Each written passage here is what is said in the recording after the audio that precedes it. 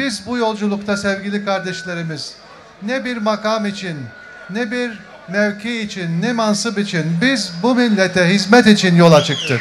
Bu hizmet demokrasi hizmeti. Bu hizmet insan hakları ve hürriyetleri hizmeti. Bu hizmet kanun hakimiyeti hizmeti. Bu hizmet hukukun üstünlüğü hizmeti.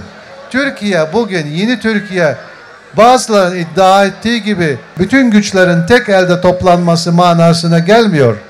Yeni Türkiye milli mütabakat manasına geliyor. Şimdi burada gördüğümüz manzara milli mütabakat manzarasıdır. Türkiye'nin rejimin adı belli. Bu cumhuriyet o şekilde kuruldu. Mustafa Kemal nasıl kurdu cumhuriyeti? Parlamenter rejim üzerine kuruldu. Şimdi biz 2014 senesinde bütün yetkileri tek elde topluyoruz. Öyle şey olur mu? Başkanlık sistemini isteyenler bilsinler ki bizim federal yapımız yok. Bizim üniter devlet yapımız var. Biz 81 vilayetiz. 81 vilayet federal yapı değil.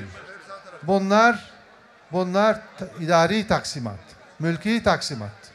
Biz bunları bir ailenin bir büyük bir ailenin parçalarıyız. Bir biriz ve bütünüz. Türkiye parçalanmayacak. Türkiye üniter devletinin rejimini rica, devam ettirecek ve parlamenter rejimi devam ettirecek. Türkiye kuvvetler ayrılığı prensibine inanıyor. Kuvvetlerin, güçlerin tek elde toplanmasını istemiyor. Biz ülkemizde huzur istiyoruz. Güven istiyoruz. Biz biz şunu istiyoruz. Ülkemizi istikrar içerisinde büyütmek istiyoruz. Ekonomimizi büyütmek istiyoruz. Az siyaset, az laf, çok iş. Biz eğitimimizi daha ileriye götürmek istiyoruz.